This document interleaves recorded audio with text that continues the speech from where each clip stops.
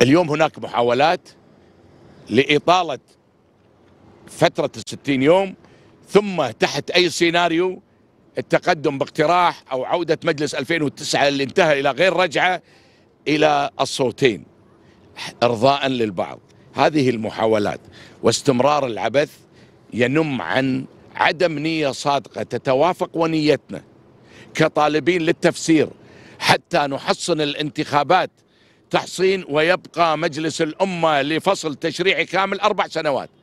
أمام هذه الألاعيب وما يصل إلى مسامعنا وما نعلمه يقينا ويدور كان لابد من مفاجأة الحكومة بأن نتحمل كشعب الكويتي مرشحين وناخبين.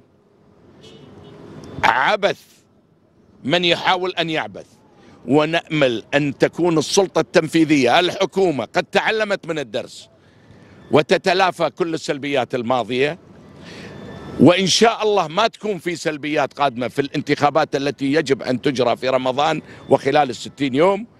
وبالتالي يمضي المجلس لأطول مدة ممكنة ويمكن أن يأتي الإبطال تحت أي مبرر لأن ثقافة الإبطال أصبحت الآن في أذهان أهل الكويت.